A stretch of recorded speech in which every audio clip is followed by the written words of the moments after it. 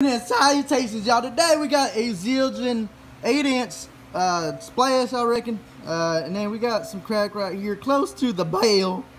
So the best way we're going to fix that, we're going to put an ozone right there. So before we do, let's get a little sound test.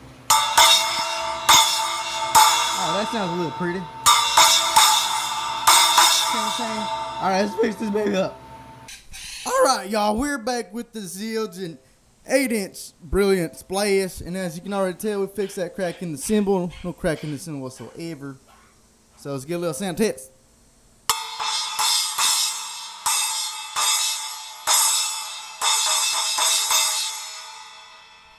All right.